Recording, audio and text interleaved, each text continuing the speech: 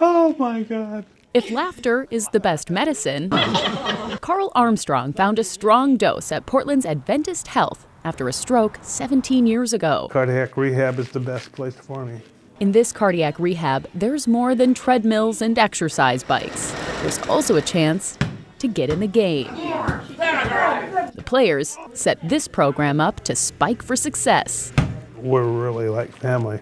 We know each other like family. We go to lunch together. Oh we do a lot of stuff together. The group of 20 gets together at least once a week. Yeah, it's two hours of solid fun. It's just insane. It's just insane. It's great. They range in age from their early 50s to 98. Some have heart conditions, others lung issues. Think about when you laugh, you're drawing breath in to laugh out.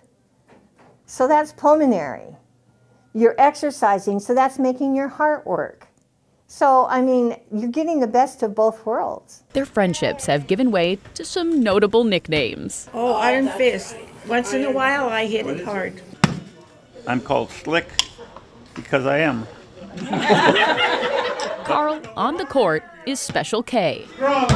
Angela Mathis, aka Octopus, Like I have eight arms instead of two. has severe asthma, and she's been part of the program for 25 years. Uh, it's probably one of the best decisions of my life to come here. It's kept me alive. It's been a great program. I can't say enough. So it's one of the really rare interventions in medicine where it's non-medical, uh, it doesn't cost a lot of money, it's not a surgery, and it gives people a lot of agency in their own treatment with really amazing results, almost like nothing else. With this group, it's hard to sit on the sidelines, and they do say all abilities are welcome.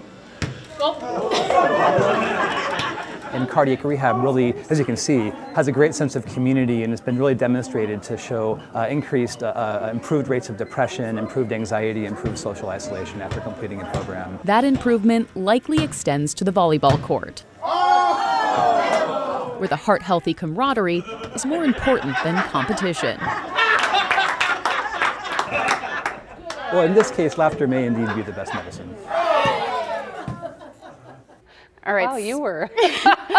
Words can't describe how good my volleyball I will skills keep are. my lips shut. Whew, but that's not I what it's like that. about. You know, Yeah, I mean, no. it, it's really about having fun. Uh, it doesn't matter what your skill level is. It's Mm-hmm. about that connection. And although I'm not good enough to get a nickname yet, I still got to wait a little bit. But it was so much fun hanging out with that gang. They look like a lot of fun. Um, you heard that woman. She said it's really changed her life. So it's obviously making a big health impact for these people. It definitely does. And that's what Dr. Moyer says. He says rehab can cut the risk of cardiac related death by 25%. That's huge. Yeah. But get this one in five people who are eligible for this mm-hmm. kind of program don't take advantage of it or are not referred. So if you want to learn more about this volleyball program or other heart health programs, we've got information for you. You can find it at kgw.com.